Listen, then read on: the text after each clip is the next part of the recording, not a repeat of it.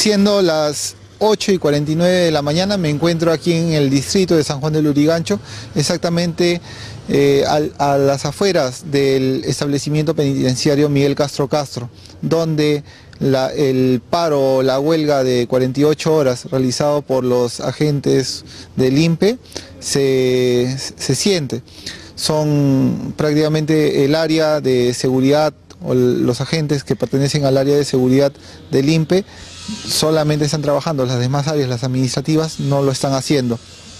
Se ha notado también tanto en, el penal del Urigancho como en este, que se, han ido sumando eh, policías a través de un grupo de contingente. Ellos están llegando debido a que quieren prever el tema de la seguridad externa debido también a, esta huelga.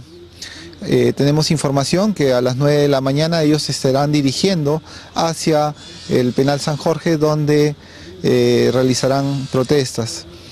Otra información que tenemos es de que hoy a las 4 de la tarde el sindicato general se reunirá para discutir esta propuesta planteada por el Ejecutivo ayer en la Comisión de Presupuesto del Congreso.